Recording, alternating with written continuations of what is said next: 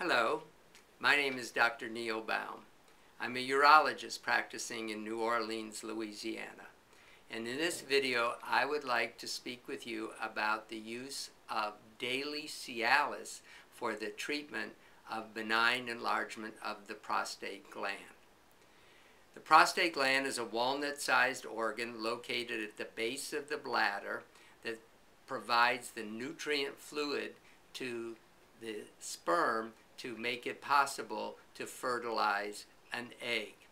As men get older, for reasons not entirely known, the prostate gland enlarges and it compresses the tube, the urethra, that goes from the bladder through the penis to the outside of the body, causing symptoms of decrease in the force and caliber of the urinary stream, dribbling after urination, straining to urinate, frequency of urination, and getting up at night multiple times in order to empty the bladder.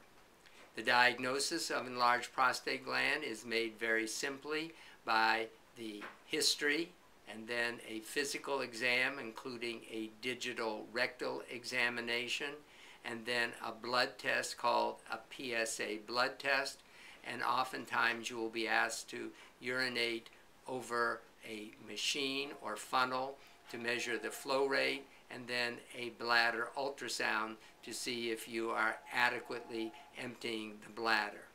The treatment for the enlarged prostate gland, first line treatment is medication. There are also minimally invasive procedures using microwaves and uh, lasers, and there are also surgical procedures for the treatment of the enlarged prostate gland. So how does Cialis work if given on a daily low-dose basis? As Cialis is a drug that is used to treat erectile dysfunction or impotence. We're not exactly sure how Cialis works, but we believe that it relaxes the muscle cells in the prostate gland, thus decreasing the compression on the urethra, allowing urination to take place. Cialis is taken one tablet a day, five milligram tablet a day, and it is usually successful in most patients in a few weeks or a month after initiating treatment. The side effects of Cialis are back pain, occasional muscle aches, facial flushing, nasal congestion, and rarely can it cause an erection to last longer than four hours, requiring a trip to the emergency room.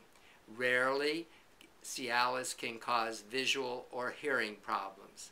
The contraindications to using Cialis are absolutely contraindicated in men who are using nitroglycerin for heart disease. It is also relatively contraindicated for men who are using alpha blockers or if they are using alpha blockers, they should take the alpha blocker at a different time of day than they take the Cialis. If Cialis doesn't work, there are other treatment options, such as other medications that can be used. There are minimally invasive treatments, and finally, there are surgical procedures. In summary, benign enlargement of the prostate gland is a common condition affecting millions of American men. Help is available, and one of the treatment options is daily low-dose Cialis. I know you may have some additional questions regarding the use of Cialis for treating the benign enlargement of the prostate gland, and if you will open the door, I will return to the room shortly to answer any additional questions that you may have. Thank you.